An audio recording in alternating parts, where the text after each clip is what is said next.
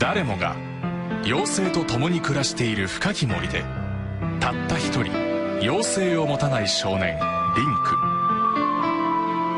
ある日ナビーという妖精に誘われたリンクは守り神デクの木から己の運命について知らされる。神々の力が宿る伝説のトライフォース。そしてそれを狙う邪悪なものの存在。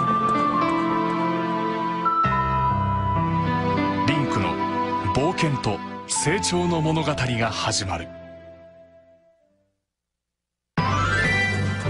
物語の舞台は奥深くまで広がる広大なハイラルの大地。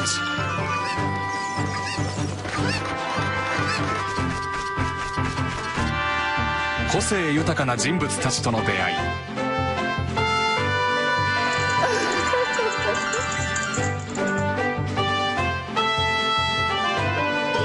ちはだかるモンスターとの戦いやダンジョンに張り巡らされた謎や仕掛けを乗り越え道を切り開いていく。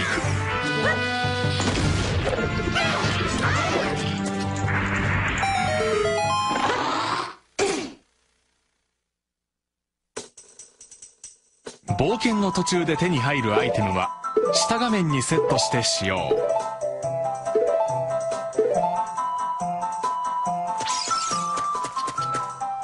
状況に応じて様々なアイテムを使い分けながら進んでいく。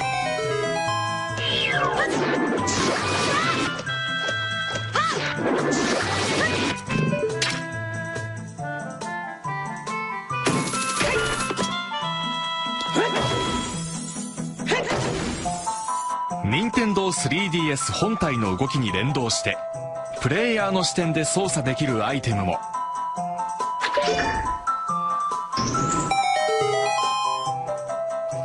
また謎に行き詰まった時は手がかりとなるヒント映像を見ることができる。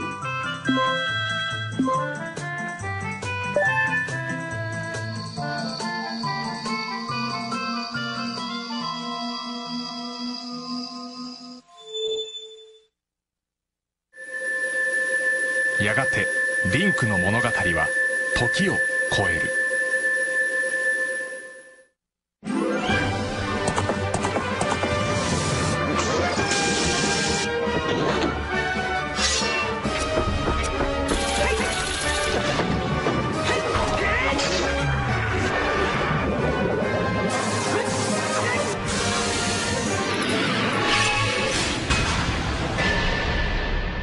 ゼルダの伝説時のオカリナ 3D